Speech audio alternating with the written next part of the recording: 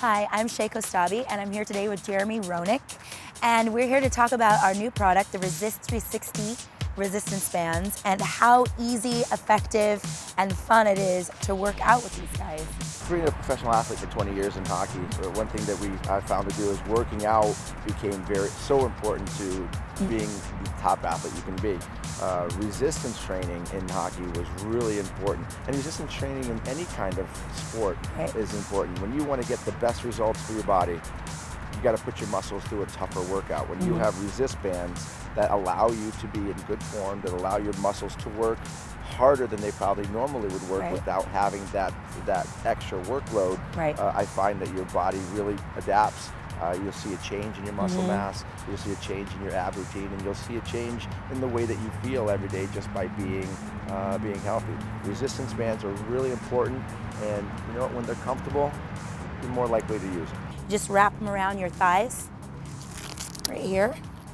So you attach the Velcro on the outside. And you want to have the bands above your legs because really, the closer this is to your core, the more you're going to engage your lower abdominal muscles, your glutes, protect your back, keep your body in alignment. It's more effective, larger muscle groups, right? Yeah, it's not your everyday average look. no. Then again, who wants to be everyday average? We don't want to be. We want to have the top results and we want to do it in less time. So you want to get down kind of into a low athletic stance or a semi squat right? Knees stacked over the ankles, and we're gonna shuffle this way first. Boom, boom, boom, right? So you're keeping tension on the bands, glutes, quads are engaged. Perfect, right? And you can even do it a lot slower and get a little bit more range, get a little bit more workout yes. with those legs, and you get a little deeper that is going to make sure that your glutes are going to be, be firing, your Whew. abs are going to be firing, and they're working against that resistance. So just by doing it, the resistance is adding twice, three times the resistance and workload than you would usually. So oh just, man, I feel it already. Just 30 seconds. I know. So we're gonna take it up a notch here and do something a little more fun. We're gonna do some lateral hops. So we'll start going to the left here, get down in that low athletic stance. We're gonna push off, jump to the left and hold. And you wanna stick it, hold, hold. Right, so we're working on stability. We're working on alignment. We're staying low. This is one of those foundation agility moves, right? So we're learning how to keep this low so that when we're out on the field or playing games or whatever, it's more, you're gonna stay low, it's better. Whew. Your thighs engage, your glutes engage, and your abs, abs. engage all because you have this resistance that is trying to keep everything in mm-hmm. and you're working to push stuff out. Right. Uh, I, I, you definitely feel that you're getting a, more of a workout and it doesn't even seem like we're doing much. No, it's not uncomfortable, it's just challenging. Right. So we're doing a plyo explosive power move here. Well, let's set this up. You want to get into a squat, feet like just a little wider than your hips distance. And we're going to get all the way down and hold. And then we're going to jump into a lunge, left foot forward. Go. Then we're switch, right, go, lunge, up, again. Let's try it again.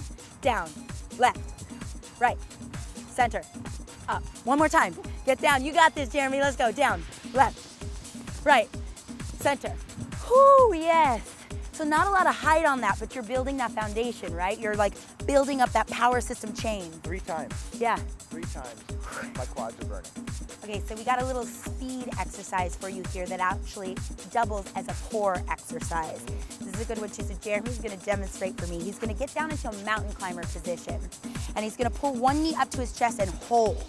So he's gonna build up this tension here. He's build up strength in the muscle and switch. He's driving through the heels in the back Good, and switch. So there's two ways you can do this. You can keep the toe off the ground or you can tap the toe. Switch. Awesome, perfect. And this, again, a lot of core work and this is great exercise to increase speed. Let's do a one, two, three, hold. Let's go, one, two, three, hold. One, two, three, hold. One, two, three. Ah, yes. Two more. I wore him out, I love that.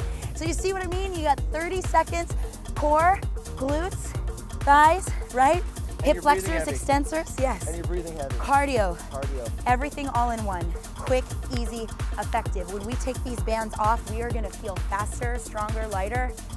Okay, so we hope you learned a little something about resistance training, and we both believe that we have the best resistance trainer out there, the Resistance 360 band.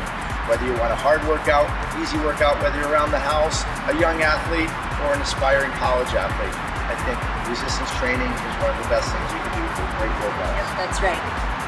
and the ReXist360 bands are easy, effective. They're going to cut your workout time in half. You're going to look great, feel better, less time. You can get better results. That's right.